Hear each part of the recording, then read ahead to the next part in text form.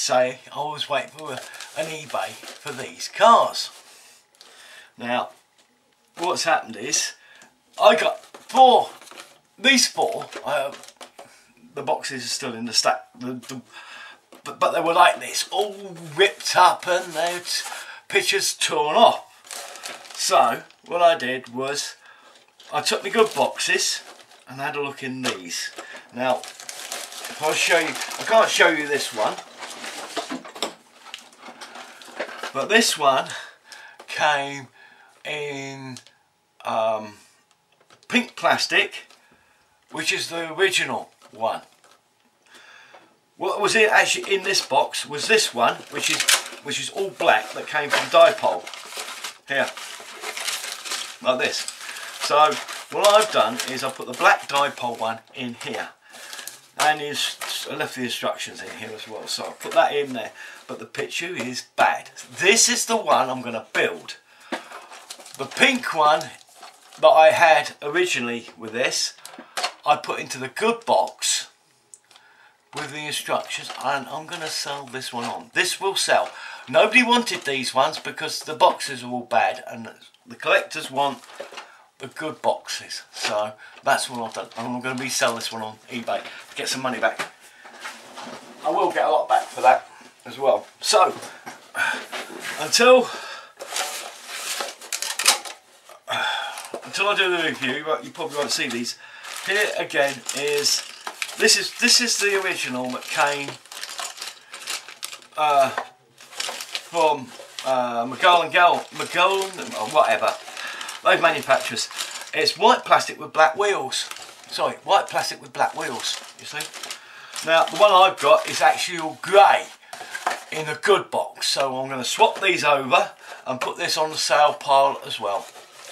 And uh, I should get quite a bit more money for this than these here. Because these were only $4.99 for four of them. I am very happy with that. £1.25 each. Uh, uh, well, I had a little bit of postage on top of that, so those are the ones we're going to be building. Model 4T and the uh, International, which you should get quite a bit of money for, and the Cadillac was the other one, and there's another one here somewhere. Oh, yeah, and the other Cadillac, the two Cadillacs, Model T Ford, and the International. All these have been replaced with good kits inside uh, the right kits inside and nice boxes on them. So I'll be able to sell these ones on eBay. Okay, after that disaster of uh, the pink, I managed to strip it off. Uh, I've got most of it off. Um, there's a few places where it's still on. I can't get to it unless I break a part of it. I'm not going to do that. Uh, but most of it's gone now. Uh, it's back to the original um, white. Well, it's now pink, um, but uh, it's still a good base to put me red on. So I'm just about to spray this up now. I've done all the parts. I just got to get around to respraying them all again. So see you in a bit. Okay, I've got it painted now. I'll bring it closer. It is a nice deep red now. Company, thank you very much. Uh, every time I start talking to the camera, he comes in. So it's a nice bright red, very cherry red, but I don't mind that because I've got a couple of cars to do, well maybe three, and I can change the shade of the reds around a bit. I can put some orange with this one and make it more of a fiery red um, one, or I put some yellow in it, make it a bit more orangey. Uh, do it that way and maybe put some other shades in it as well just to change the shade of the red so I don't have too many bright red cars. There are a lot of old cars that are red so uh, I'm getting on and doing a bit more to that and uh, I am going to be doing a bit on my Tiger as well soon so you should see that.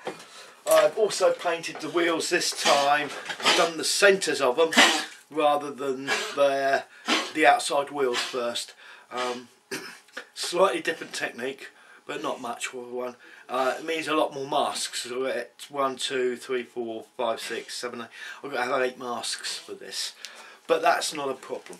I can get, uh, I can get I can get three or four out of a label, so that's no trouble at all. Um, and uh, pop them on, but it's it's actually it's actually getting them lined up right. That's the only thing about them. Uh, the other way is much easier. Just pop it in. It's the same place every time, you see. But uh, I'll go ahead and just do the outside wheels as they are. Um, what else is there? Oh, uh, chassis I've done already as well. That's that's ready to go in.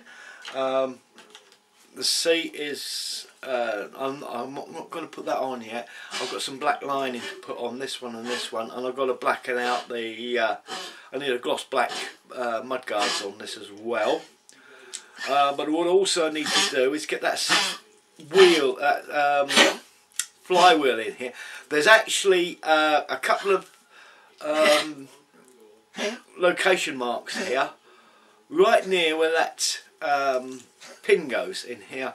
Uh, I believe that may be where the, uh, the flywheel actually should go. Uh, I'm not certain about that, but I think it is, and it's about the right place. Uh, when you look through, you can see the the the, uh, the flywheel underneath, and I will put that in.